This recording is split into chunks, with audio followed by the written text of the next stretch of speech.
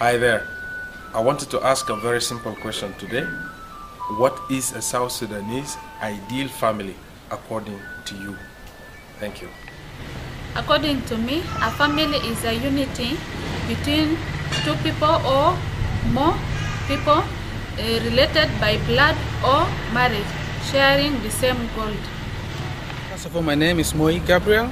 Uh, it, it's a nice question uh, that I want to talk about. To me, uh, family uh, is a social bond that binds us together as people who belong to the same blood. For example, basically, uh, we have a father and a mother, and perhaps the children. We call that nuclear family. But to my own understanding about families in South Sudan, I know we have this kind of social bond whereby a father and a mother join hands together, and children comes in in the process of their living together and at the same time, we have the extended form of it whereby the relatives of the both sides will join them together to stay and form a bigger uh, cycle of the family. That's what we call extended family. Okay, for me, an ideal family would be one where both parents are living with their children and they're able to take care of their needs. That is my ideal family. My name is Peter Mao. I'm a Juba. So my understanding and my wish for an ideal family in South Sudan is a family that has coordination, has a good understanding among all the family members uh, in the family. My name is Irene. When I hear about ideal family, what comes to my mind is an extended family of all the relatives living together. Not only relatives, even friends.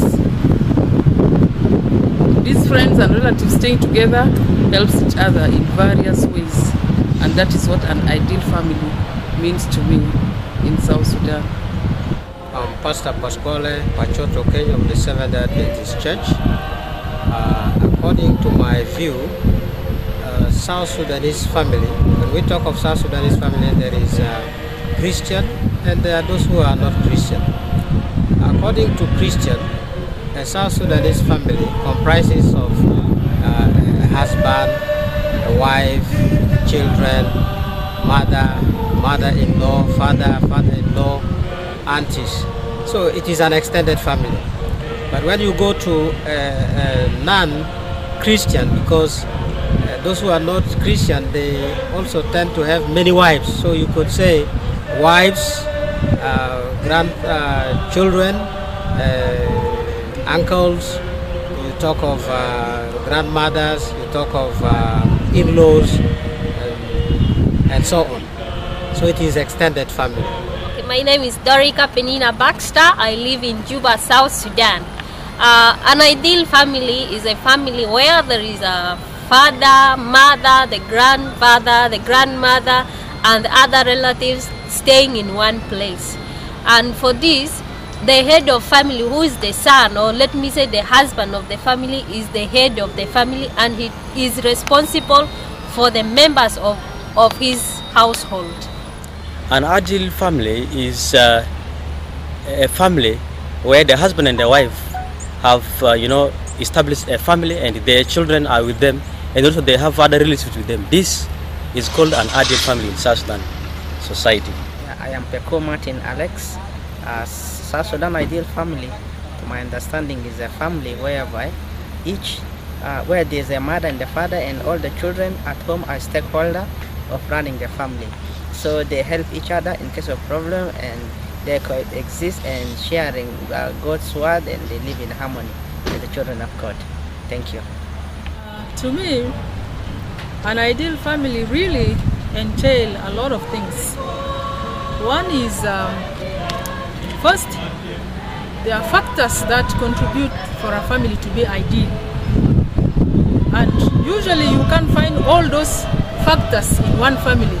But at least if you get like about 50% or 55%, you can say that your family is ideal.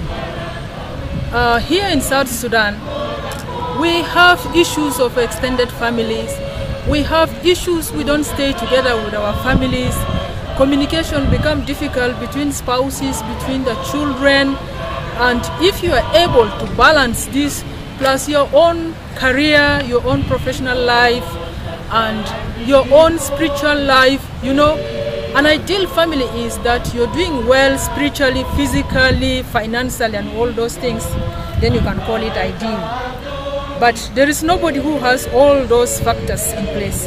But if you have at least 55%, then you should thank God your family is ideal. Thank you very much.